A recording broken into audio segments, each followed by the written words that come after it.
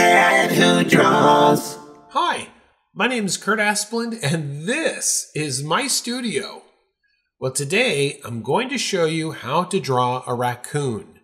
What's interesting is we've got his head going in one direction and his body facing another. That creates contrast, and it's really interesting for the eye.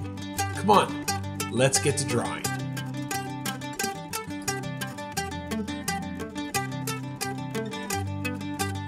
All right, first thing we want to do is start off with a large circular shape for his head, and it's kind of slightly sl slightly flat on the bottom because this raccoon is short and stocky. And we're going to angle the uh, left-hand side a little bit and kind of keep the right-hand side lined up. Let's draw a quick line across the top of his head to kind of establish where his eyes are going to go, and then a nose. So with this raccoon, we have him looking off to his right. And I'm just lightly putting in some uh, shapes here to establish the uh, color pattern behind his eyes. Little smile. Feel free to pause the video at any point. Of course, this is all just an underdrawing and we're trying to keep it really light here. Adding uh, a couple ears on top there. And now I'm going to draw a center line for the body so I really make sure everything's lined up.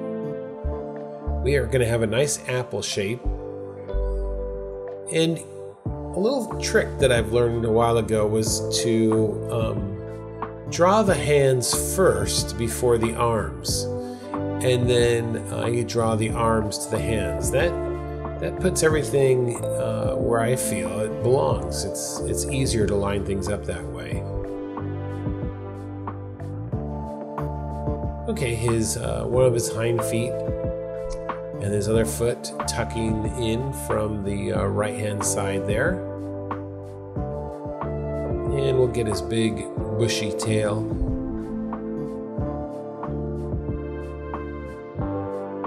So this is a great time to, to pause the video and uh, make sure you have your line drawing in place and it's drawn lightly.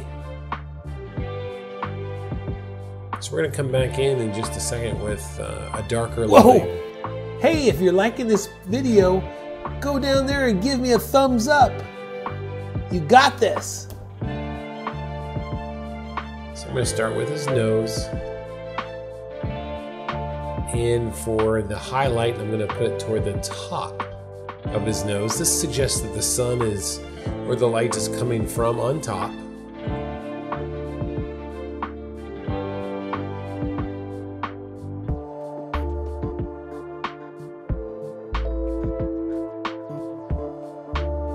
Got a little uh, slight dip in the uh, top of his head. Now I'm just going to indicate some lines to say fur on the side. It's it's not a straight line. It's it's more of a fur.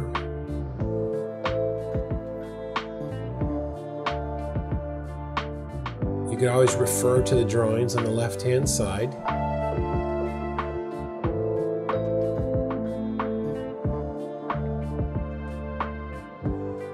And if you haven't already, it would be a great help if you gave me a thumbs up on this video. It really helps YouTube to share the video to a larger audience, and I would greatly appreciate it.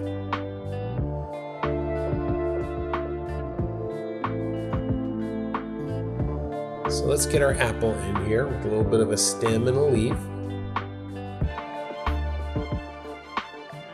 All right, we're going to uh, get his hands in here and I like to draw his fingers first so they get a sense that they're wrapping around the apple.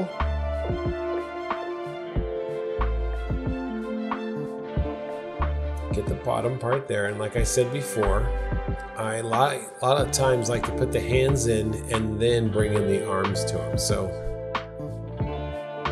The one thing on the arm there, I've made the top more of a curve versus the bottom being straight. And once again, this just adds contrast to our image. Well, it looks like we passed the uh, five minute mark. So I would uh, pause the video here if you haven't finished drawing in your dark lines. Refer to the drawing on the left hand side. And then you can even see how I colored mine.